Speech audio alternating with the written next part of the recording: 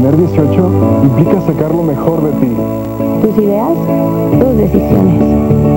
Expresar lo que llevas dentro. Elegir lo que quieres para ti. De aquí en adelante. Si ya tienes 18 años, saca tu credencial para votar.